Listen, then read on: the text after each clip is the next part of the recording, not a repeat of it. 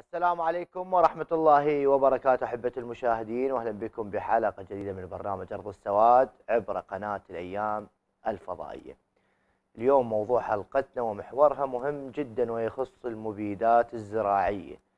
اللي يوم بعد يوم قاعد تتضاعف أسعارها وهذا يأثر بالسلب اليوم على العمل الزراعي ويؤثر بالسلب بالخصوص على الفلاح العراقي.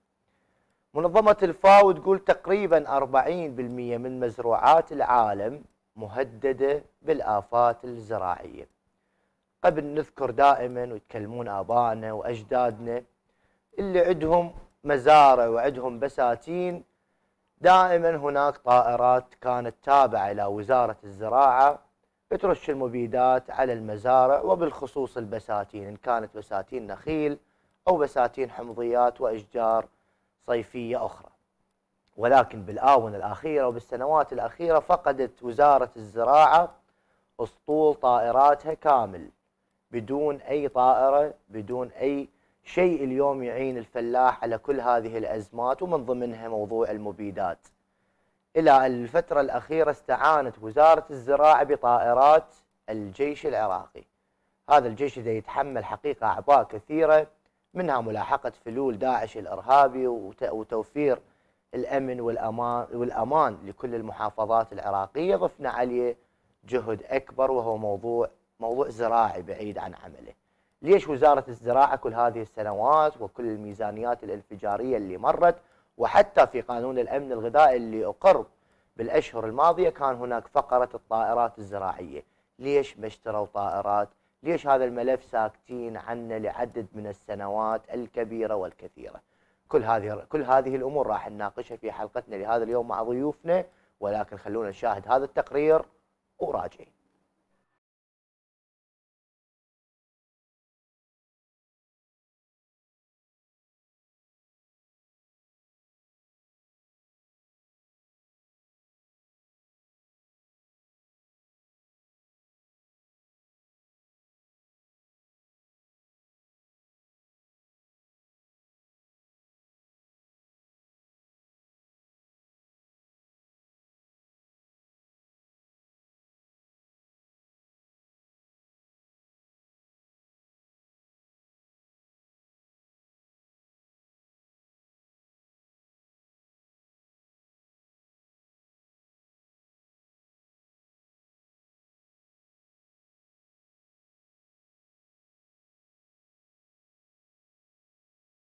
رجعنا وياكم أحبة المشاهدين بعد مشاهدتنا لهذا التقرير اللي يتكلم عن موضوع الآفات الزراعية وخاصة عالميا لها تأثير حقيقة سلبي كبير جدا على موضوع الأمن الغذائي العالمي كما صرحت منظمة الأغذية العالمية الفاو طبعا ضيفنا لهذا اليوم الشيخ أبو سعد المسعودي عضو الجمعيات الفلاحية لفرع المدان ورئيس جمعية أبو ذر غفاري الزراعية أهلا وسهلا بك شيخنا.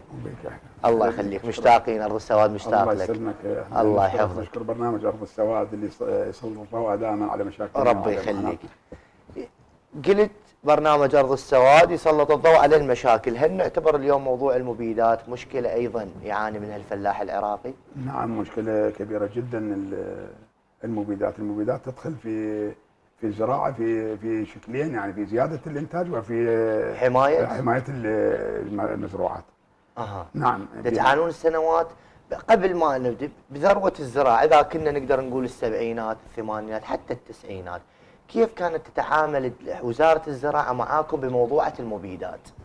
يعني كيف كانت تعطيكم؟ وزارة الزراعة هي عندها جهات أخرى يعني مديريات مديريه التجهيزات الزراعية هي مسؤولة عن التجهيزات اللي اللي تجهز الفلاح بما فيها المبيدات والامور الأخرى اللي تساعد على حماية الإنتاج وحماية المزروعات وزيادة الإنتاج. نعم. آه، بالسبعينات كان يختلف الوضع عن ما في الآن بالسبعينات كان اتجاه زراعي جديد آه، رغم أنه تو الدولة متجهة على الزراعة نعم كانت مكافحة وكان أسطول الزراعي من الطائرات المكافحه خصوصا البساتين والأعراض الواسعة كانت تكافح بالطائرات. القطن كان يكافح بالطائرات. قطن كان عندنا. القطن إحنا أنا من من رواد زراعة القطن يعني كنا نزرع المزارع الرائدة بالقطن. ليش اختفت زراعة القطن؟ اختفى لأن ماكو دعم والمعامل اللي كانت تستلم من عندنا القطن أيضا توقفت معامل النسيج معامل النسيج في الكويت ومعامل النسيج في كربلاء وبالموصل. هاي كلش كانت تنتج ملابس قطنية.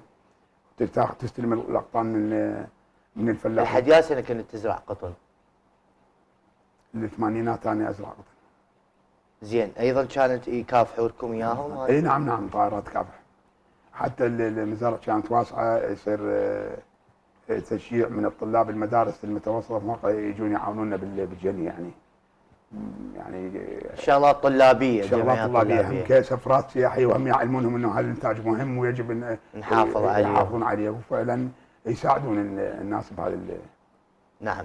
آه، أتكلم اليوم الأسعار كيف صارت بالمبيدات الآن بالوقت الحالي؟ في ارتفاع إحنا تعرف أنت سعر صرف الدولار من ارتفاع غير كل موازين الأسعار اللي كان تقريبا موازن نفسه عليها الفلاح يعني تقريبا. نعم. وساعد الدولة الدولة ما تجي تنطي المبيد بالشكل المطلوب يعني لا تنطي بالوقت المناسب للفلاح ولا نعم. تنطيه آه، بالعبوه بالعبوة مالته. يعني تفرغه من العبوة مالته الأصلية إلى العبوة آه الاحتياط. الثانية. الثانية ويضمون العبوة ما يحتاجونها هم. هذا طبعا من تعرضه للشمس وإلى الهواء راح يقل من عند يعني يعني المفعولة يعني يتاثر زين ليش ما يعطوكم اياها بالعلب الاصليه؟ ما نعرف السبب ليش ياخذون العبوة فارغة يضمونها ويعطونا جيب بطل جيب أكو بعض الأخبار تقول ان الفلاح ممكن يبيعها هو ما راح ياخذ عبوة كاملة مثلا. أنت من تقسم وين يبيعها علما؟ يا نوعية يعطوكم والله هي حسب نوعيات اللي يحتاجها الدغل أو يحتاجها زين. وتحتاج شنو هم الآن البساتين أكو بالمدائن بعض البساتين لو ما؟ ما أنا لو يعني الوقت كان ضيق كان صورت لك وجبت لك بستان شلون مات الموت التدريجي. ساعة بستان نخل؟ إي نخل نعم نخل زين. وصلت إن شاء الله شو إن شاء الله. شو وقت آخر مرة جتكم طائرات المكافحة؟ ماكو ما جتنا. يعني على سنوات اللي ما ما جتنا. ابدا. ابدا نعم. زين ما راجعتوا اليوم أنتم أيضا كجمعيات فلاحية. السيد وزير الزراعة مع السيد وزير الزراعة. هو جاي يقول ما عندي أسطول بالطائرات اللي جبناهن عاطلات بالصور وما مصلحات وما لهن آه يعني آه توجه عليهن إنه دا يصلحن دا يدخل الخدمة للزراعة. وزير يعاني فكيف أنا الفلاح؟ نعم. طبعا أحبة المشاهدين أيضا نتكلم على موضوع إنه يعني إحنا نشكر اليوم نشكر طيران الجيش على كل الدعم الكبير اللي قاعد تقدمه إلى وزارة الزراعة إلى الفلاحين في بعض المناطق. لأن اليوم الجيش العراقي أيضا هو محتاج طائرات. مهمته أمنية مهمته دفاع عن الوطن مهمته دفاع عن حدود الوطن. مو مهمته اليوم طائرات الجيش تشارك وتساهم بموضوع الرش. صح إحنا المشكلة اليوم العتب نطلقه اليوم على وزارة الزراعة. وزارة الزراعة اللي هاي السنوات اللي مضت وإلى اليوم ما عندها طائرات. شنو هي الطائرة الزراعية؟ إيش قد تكلف مثلا يعني؟ إيش قد؟ أنت في بلد عندك بساتين بمختلف المحافظات. كل المحافظات تمتلك بساتين عندك. خاصة أحكي لك على ديالى على بغداد على بابل على واسط على كربلاء. صلاح الدين أيضا عنده بساتين البصرة. البصرة يعني امور موضوع النخيل أيضا. وينك من هذا الموضوع؟ طبعا نشرت نشر إعلام وزارة الزراعة فيديو لوزير الزراعة إنه اعتبروه إنه هذا إنجاز إنه وزير الزراعة صاعد بطيران الجيش وقاعد يكافحون آه، يرشون المبيدات على بعض البساتين خلي نشاهد هذا الفيديو ونعلق عليه. رجعنا وياكم أحبة المشاهدين وشاهدنا الفيديو اللي حقيقة اليوم. إعلام وزارة الزراعة أخوة واصدقائنا وعندنا علاقة بهم طيبة جدا. ولكن يعني للأسف إنه ماخذيه على محمل الفخر هذا الفيديو. يعني إنه هذه السنوات كلها بدون طائرة قلتوا عندنا طائرات وراح للصيانة. لحد الآن هذا الملف انسد وما حد ما تكلم عليه. ما نقدر نشتري طائرات قد اسعارها هسه كل وزير بالحكومة العراقية أسطول سيارة حمايات بأحدث الأنواع وأغلى الأنواع. إيش قد سعر الطائرة الواحدة الزراعية؟ شنو 200 ألف دولار مثلا؟ هم بالنظر لميزانيات الوزاره والوزاره والحكومة فد مبلغ جدا بسيط.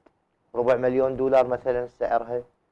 نص مليون دولار هم شيء إنه بسيط. أخلي كل محافظة طائرة واحدة. ما إنه طيران الجيش صار وياكم يساعدكم والله بعد. عندي تعليق. والله شكرا لطيران الجيش. أنا ولكن العتب على وزارة الزراعة. أوجه شكر لاخوان اخوان أخواننا العسكريين وخصوصا طيران الجيش. صح الجيش للحرب والإعمار ولكن لكن للثقل على الجيش. يعني كل ما اريد فشي تناوش من الجيش. هي حالة هذه نادرة وحالة يعني خاصة آه، مع تحياتي للسيد آه، وزير الزراعة. يعني شو يسوي؟ يعني هو استعان الرجل يعني أنا ما اريد أحكي عليه. استعان وين يروح؟ طائرات ما عنده الدولة ما جهزت بطائرات. مهدد بال- بالآفات الزراعية. يضطر نعم أن شيخ بالوزارة. قصدي اليوم وزارة الزراعة هاي السنوات كلها غير مثلا تقدم طلب إلى رؤساء الحكومات اللي مروا قدموا. مصطفى الكاظم كلهم مقدمين وكلهم؟ يعرفون وزارة احتياجات وزارة الزراعة ولكن آه، يعني خلينا نحكي إحنا بصراحة إيه. إنه إحنا نشك إن التوجه ضد الزراعة يعني ما ضد أها. وزارة الزراعة والزراعة عموما يعني لا تجهز بطائرات لا بمواد آه، كيميائية لا بكيمياوي وأسمدة لا معامل تشتغل. طبعا نموت أنت إذا واحد مريض وما تجيب له لا دواء لا تجيب له علاجات تعطيه أكل يموت هو يخلص ويموت يعني هكذا صارت الزراعه نعم. حتى وزارتنا وزارتنا هسه تموت يعني تحولت من 2011 من وزارة زراعه إلى وزارة إرشادية. بحثيه كانت إنتاجية. كانت إنتاجية. إيه، صارت بحثيه صارت إرشادية. إرشادية بحثيه بس يعطي إيه. بس الزم الطريق من نادر باك لا تنزليش إيه، يعني ما- ما يشارك ميدانياً. التعب علي والبرد علي والكل علي والصرف هذا والموت يتحمل الفلاح نعم. والفلاح. خل... أيضا آه، آه، شيخنا أيضا أريد أعرف أو أريد أستثمر وجودك حتى بعض المعلومات نريد نعرفها مثلا بالزراعة الاستراتيجيه نعم. كحنطة حنطة وشعير. شنو يعني آه، أخطر الآفات الزراعية اللي, اللي ممكن تأذي الحنطه والشعير. بال- بالعرب يقولون قبل أهلنا أجدادنا يقولون 70 آفة للزرع واسهلهن النار. هيك أصعب. 70 آفة على الزرع تجي أسهلهن وأسهلهن النار. أسهلهن النار. بما أنه آه، يعني الزرع الزراعة مهددة بآفات زراعية ويجب ال- الانتباه لهذا الجانب. هواي أمور إحنا هسه إحنا الأدغال مم.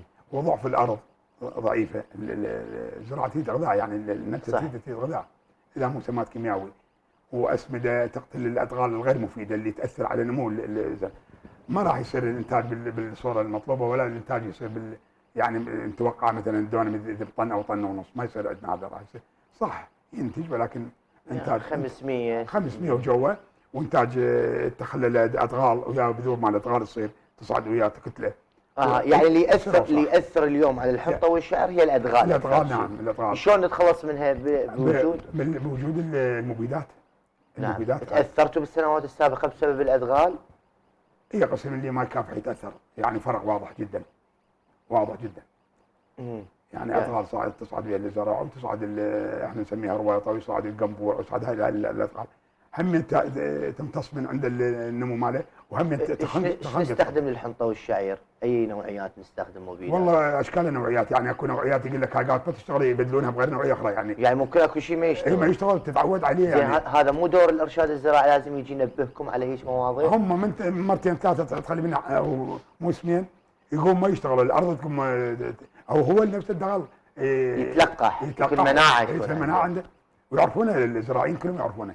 يغيرون لل على مود ال- يتأثر. يغيرون للمبيد اللي الثاني هاي أيضا يعني تعتبر مشكلة اليوم تقتل هي مشكلة نعم وأيضا صرفيات نعم. كبيرة هاي اللي ما. يخص الأدغال وما يخص ال- الحشرات والقوارض الأمراض والهاي. يعني نعم ال- ال- يعني هاي الدود والمن إحنا نسميه. وهذا كله يأثر يعني يمتص مباشرة يأثر. هذا هذا مكافحة يعني يكافحون هم بال- بالمحمولة بالمكاين هسه عندنا صارت ال- الاليات المكان يعني رش نعم. هذا يرشون النخل هاي أحد اللقطات أيضا نعم. نشاهد آه طبعا أحبة المشاهدين أيضا يعني هناك بعض اللقاءات اللي كانت مع يعني قسم وقاية المزروعات.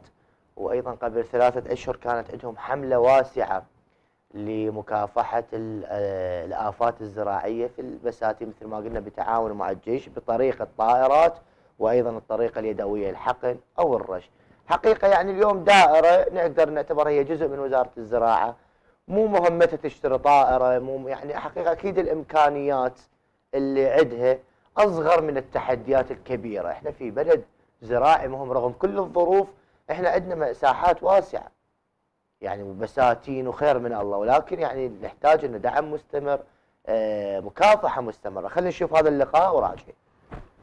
رجعنا وياكم أحبة المشاهدين وشاهدنا لقاء للدكتور حسن المؤيد آه، مدير عام وقاية المزروعات. هذه الزراعة القسم المهم جدا من أجل ديمومة اليوم الزراعة العراقية وخاصة إذا أتكلم على موضوع البسه نرجع مع الشيخ أبو سعد المسعودي. آه، شيخ عرفنا الزراعة الاستراتيجيه خاصة الحنطة والشعر وشنو التأثيرات اللي عليها؟ عرفنا الأدغال وبعض ال- الأمراض اللي ممكن تصيبها. آه، شنو يعني أسوأ شيء يمر على زراعة النخيل أو على بساتين النخيل؟ شنو الأمراض؟ الأمراض واضحة. ال- الحميره والدوباس والعنكبوت. الدوباس من عام 1922 آه، أصاب النخيل بالعراق.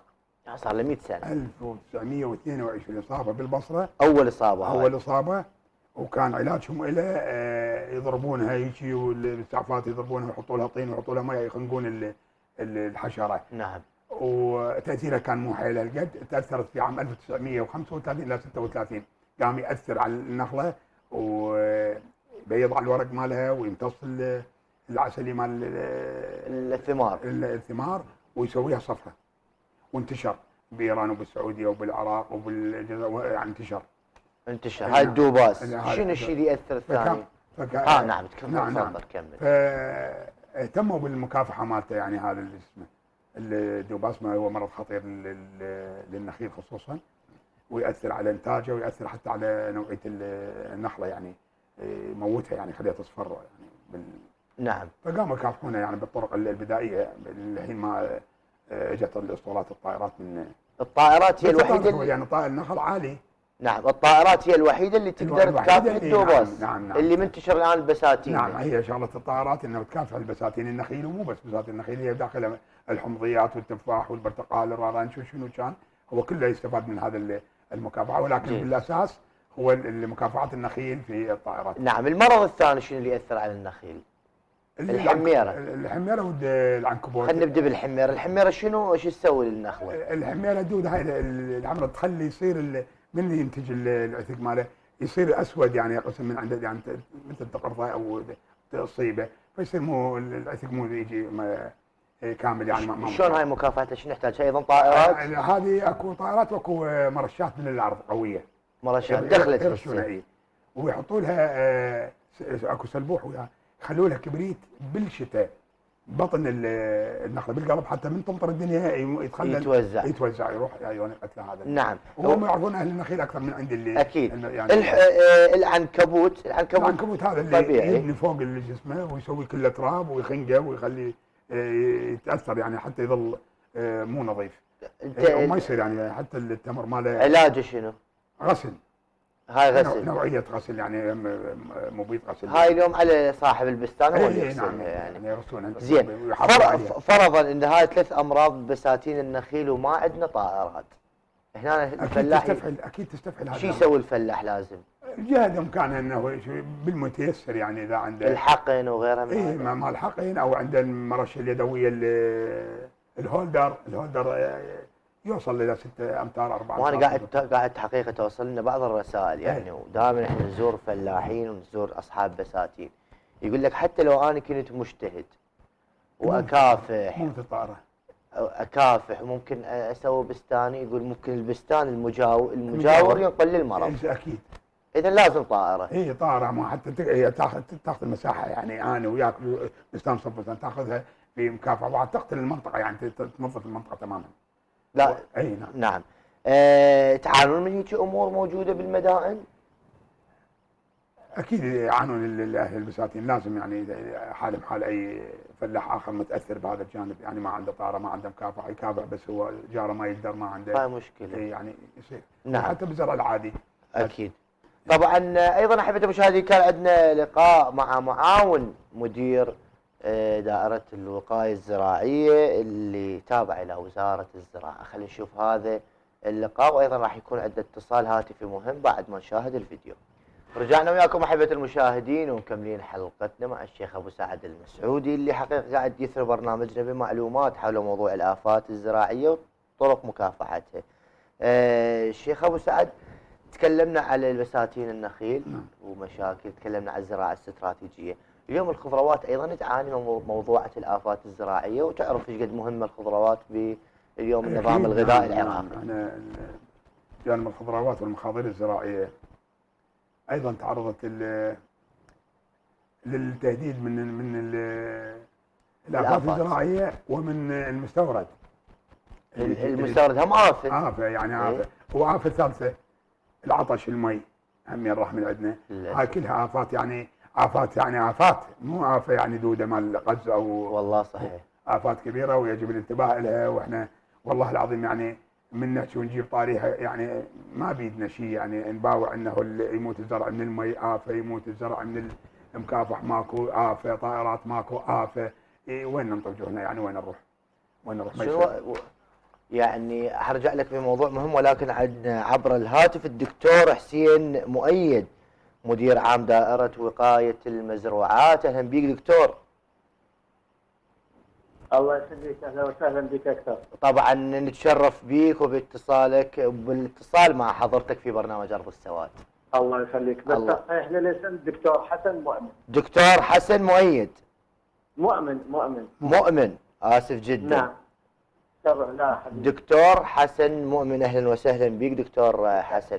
آه، دكتور يعني نعم. الصراحة برنامجنا إحنا برنامج زراعي. يعني نتنقل بالكثير من المناطق والمحافظات العراقية اللي مهتمة بموضوعه الزراعة. هناك عتب كبير جدا من قبل أصحاب البساتين على على موضوع المكافحة موضوع الطائرات موضوع اليوم حتى دائرة الوقاية إنه ما عندكم زيارات ميدانية بكثافة لهذه البساتين. نعم طبعا تدري يعني حجم المساحات وعدد المزارع هي مو مبررات ولا كادر الإدارة القليل لكن أتكلم لك عن الطائرات. طبعا طائراتنا الزراعية يعني معطلة لسبب فني مع الشركة المصنعة وقبل أيام كنت برفقة معالي الوزير قيادة طيران الجيش.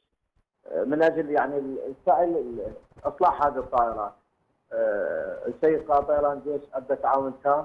الاخير إن شاء الله نعقد في الاجتماع في سبيل هذا الموضوع. آه، لكن في نفس الوقت آه، طيران الجيش آه، وفروا لنا طائرتين كالعادة مثل هاي السنة للسنه الثالثة. نعم. حمله دوبات النخيل. طبعا إن شاء الله الترتيب للأجهزة الرش تم عليها وكمل. بس نعم. توفير الوقود. طبعا إحنا طائرات من طيران الجيش والوقود هالمره وزارة الزراعه دعمت طيران الجيش تجهيز الوقود باستخدام سياراتنا، سياراتنا بتحترق مع طيران الجيش بإذن الله إن شاء الله خلال نهاية هذا الأسبوع تنطلق عملية الرش الجوي.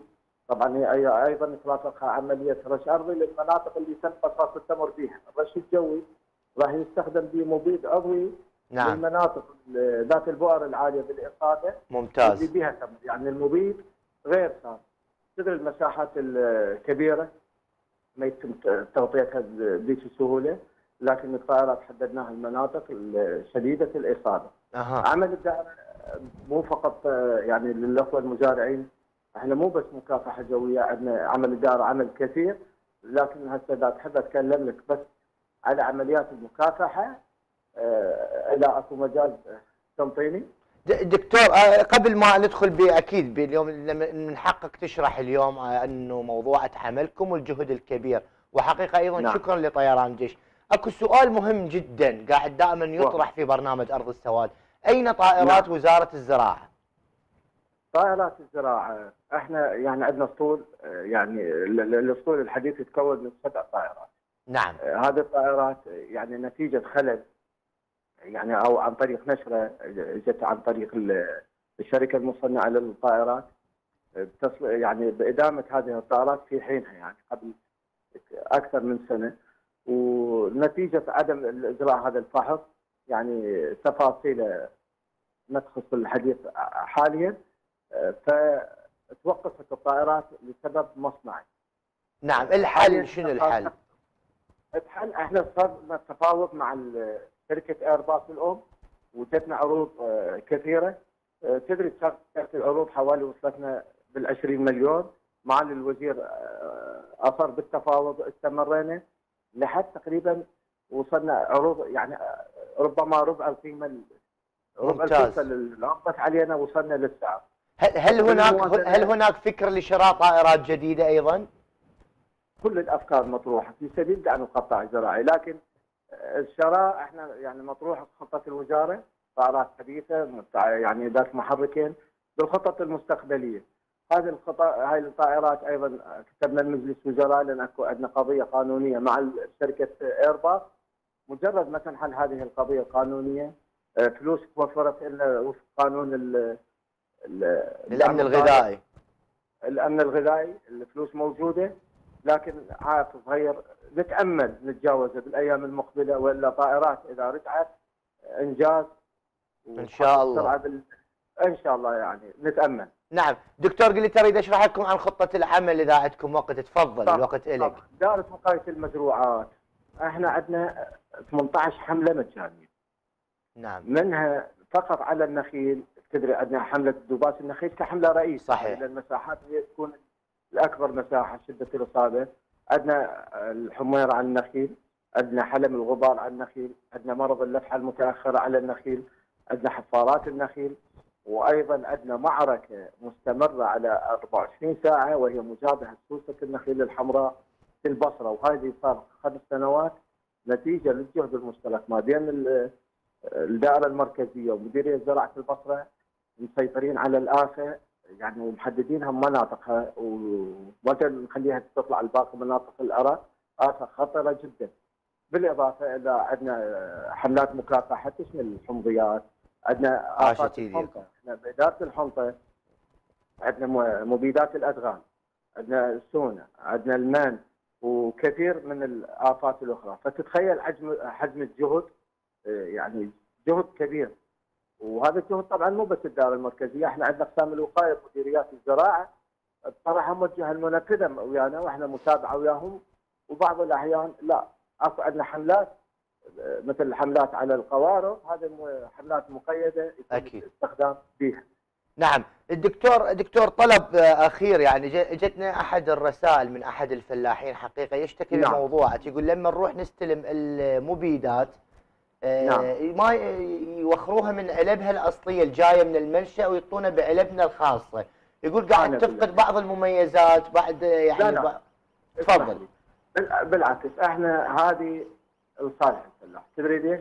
نعم أول شيء العلبة أنا من أفتحها وأنطيها أول شيء تدري نوبات للأسف آه، العلبة هذه آه، آه، إذا صار مهر ربما تسرب للسوق شوف هذا السبب الرئيسي هذه العلبه تدري هذا مبيد؟ من انطي العلبه مثلا. نعم. أو العلبه أنت شايفها 5 لتر شكلها حلو. صحيح. أخاف لا تكون فيها استخدام آخر.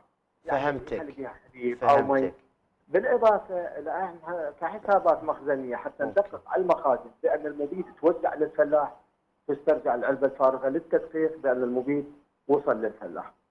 أها. فهذه وسيلة يعني حماية بس أريد امن لأن الكمية اللي أنا جهزتها الفلاح وصلتها. دك- دكتور طبعا بختام حديثنا مع حضرتك أي حملة قادمة برنامج أرض السواد مستعد يكون يغطي معاكم هذه الحملة ونتشرف بهذا الشيء؟ يا ريت آه، أستاذ العزيز. أكيد. أنا راح آخذ رقمك من العلاقات وأتواصل مع حضرتك. هسه مو على هذه. إحنا يوم آه، بعد بكرة يبدأ انطلاق عندنا تصدير التمور خارج العراق ممتاز. يجري تحت إدارة وقايه المزروعات عملية التبخير. إحنا نسوي له يا عم لهذا التمور ونمنع شهادة السلامه من الآفات إذا نشجع عملية التصدير كل إن شاء الله إن شاء الله. الوطني يكون عندي تواصل مع حضرتك مع حضرتك. شكرا جزيلا. دكتور نتشرف دكتور حسن مؤمن مدير عام دائرة وقاية المزروعات على هذه المعلومات. شكرا جزيلا. يعني حقيقة تكلم بكلام يعني كثير قريب من الواقع شكرا لدكتور حسن المؤمن. وحقيقة التبرير مقبول بالنسبة لل يعني مقنع بالنسبة للحاويات مالت الأدوية. قد يكون صح يستخدمها للأسف الفلاح. أكو يعني البعض آه، البعض نعم، مو الكل.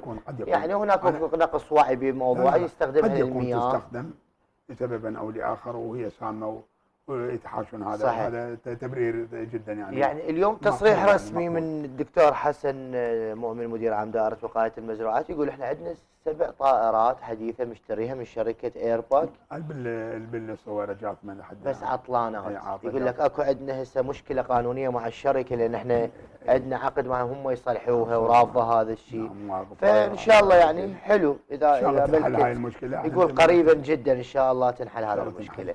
آه، نتعالج. طبعا طبعا أحبة المشاهدين أحد باحد انه بداية حلقتي عفوا تكلمت بموضوع مهم جدا. قلت زيارات أرض السواد. للكثير من البساتين. إذا يعني اللي أذكرهن آه، الدير بالبصرة رحنا رحنا إلى بابل عدد كثير كبير من الحلقات. رحنا إلى واسط أيضا جنوب بغداد أيضا تحدثنا بهذا الموضوع مع أصحاب البساتين. آه، آه، صلاح الدين أيضا ديالة في جديدة الشط. يقول ما قاعد توصل لنا طائرات. شوف هذا اللقاء وراجعين. إحنا مو هنا إيش يصير عندنا؟ عندنا أمراض كلش قوية.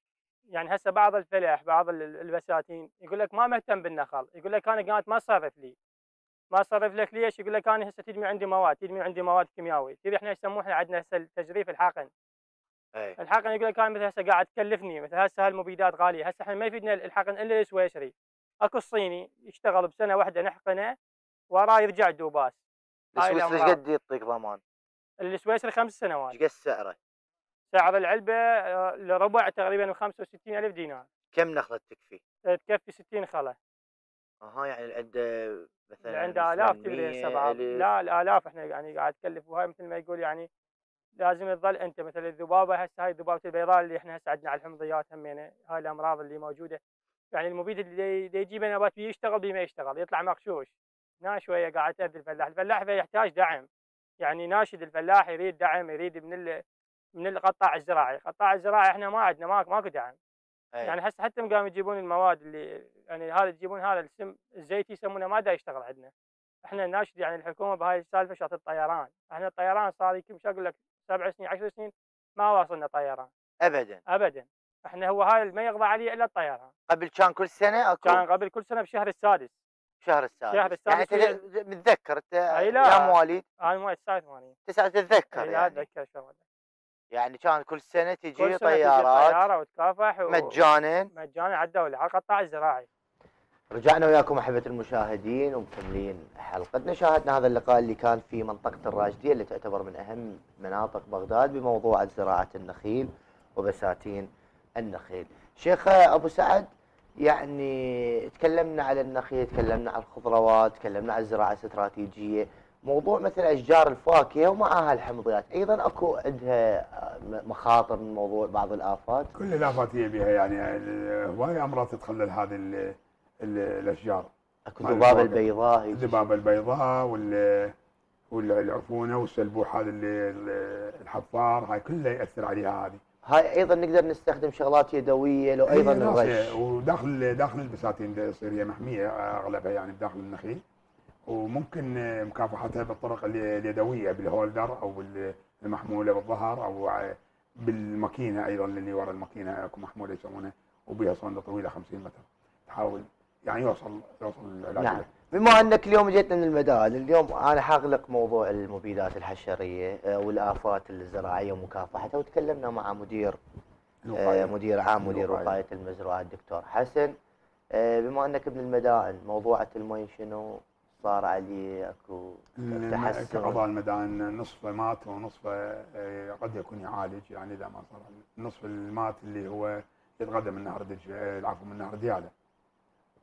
ما ما رجع المي النهر لا يعني, لا يمشي ديالة تعبرها ب- برجلك ويدرون بها كلهم و- وإحنا في يعني خطر. هذا النهر يمر من خطر. من الفضيليه في خطر. هذا يبس في خطر. إحنا في خطر جدا يعني. وشلون قاعد تزرعون؟ ما زارعين إذا البعض أكو زرع؟ ماكو زرع. أكو شيء تكرم تكرم مي ال- المجاري جاي يرجع على المكاين. ويشغلون القسم من عنده يوصل أو ما يوصل. مو زراعة يعني ما جت ما جت هيك الحلال يعني فقط. ما جاي يصير زراعة. شفت بعض المنشورات عندكم ناس باعوا حلالهم. باع واشترى تنكر. هذا باعوا. هيك وصلت اي المرحله باع باع قال أحسن ما أموت أنا والحلال. أبيع الحلال وأشتري تنكر حتى أعيش أنا عاد أعيش نفسي.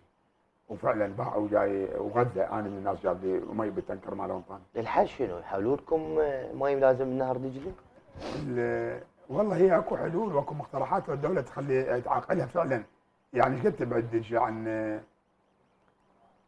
عن دياله يعني من جهة الراشدية من من من هاي المناطق يعني ال- الدول قاعد تسوي بحيرات ترتبط بحر ببحر أي. يمشي على النهر إيش مصر 100 راح كيلو لو 60 مصر راح تسوي قناة السويس قناة أخرى وإياب. أخرى، أي. يا قناة أخرى راح تسوي. مو فد شيء مو يعني مو لا لا مو مو شيء عاصي يعني مو يعصى يعني إيش قد هسه إحنا مضخات المياه اللي مال الشرب مال مال الشرب جروا لها أنابيب.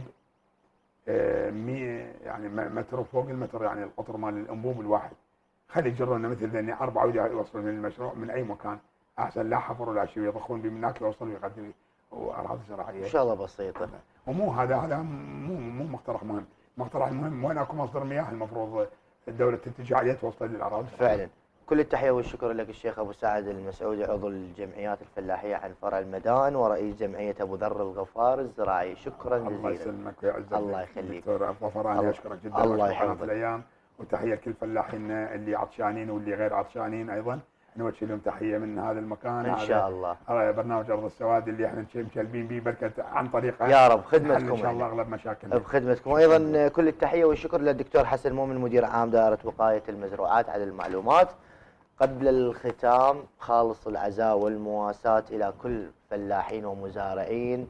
أبو غريب بعد استشهاد الشهيدة زينب هذه الفلاحة العراقية اللي حقيقة نفتخر بيها برصاص غادر من قبل ميادين التدريب لجيش الاحتلال الأمريكي الموجود في أطراف مطار بغداد الدولي.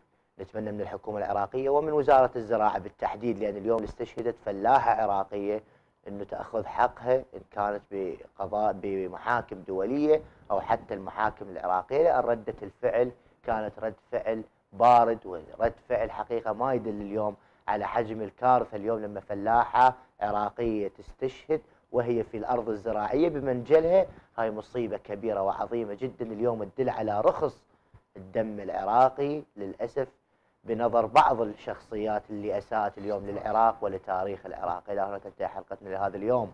من برنامج أرض السواد نلتقيكم بحلقات أخرى. إلى اللقاء.